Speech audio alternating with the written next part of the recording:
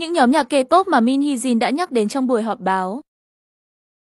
BTS Min Hee Jin khẳng định chưa bao giờ nói BTS sao chép cô. Cô đã hỏi người bạn thầy bói của mình về việc nhập ngũ của BTS. Bang Si Húc nói cô hãy lập một công ty riêng cho nhóm nhạc nữ, vì nếu chung công ty với BTS thì sẽ có rất nhiều fan nữ ghen tị. S3, cô tiết lộ tin nhắn của Bang Si Húc nói rằng có thể dẫm đạp lên S3 không?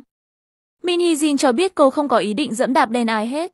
Jizen, Min Hee Jin nói sự tàn dã của Jizen không liên quan gì đến cô ấy. Le Seraphim, CEO 2 đã yêu cầu cô không quảng bá New Chin cho đến khi Le Seraphim ra mắt, vì họ muốn mọi người nghĩ rằng Le Seraphim là nhóm nhạc nữ của Min Hee Jin. Cô nói không biết hai đã thêm Sakuza và Chê Quan vào nhóm, điều đó đã khiến cô không hài lòng. Ivu, trong quá trình chuẩn bị cho sự ra mắt của New Chin và Le Seraphim, hai đã coi Ivu là đối thủ, nên đã thêm Sakuza và Chey Quan vào nhóm để tăng sự nổi tiếng. Min Hee nói, có vẻ như họ không có niềm tin vào nhóm mới.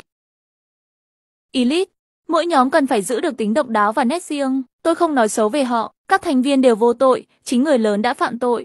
New Chin, cô cho biết bố mẹ của New Chin cũng không hài lòng với hai. Min Hee nói thêm, trong số các thực tập sinh của Shop Music, Minh Di là người duy nhất mà tôi cảm thấy ưng ý, những thực tập sinh còn lại đều không có kỹ năng hoặc quá lớn tuổi và không phù hợp với yêu cầu của tôi. Cô còn nói Min Di hồi nhỏ xinh hơn bây giờ. Min Hee Jin tiết lộ Niu Chin đã an ủi cô. Honey nói sẽ đến gặp cô và Hey Jin đã khóc suốt 20 phút qua điện thoại.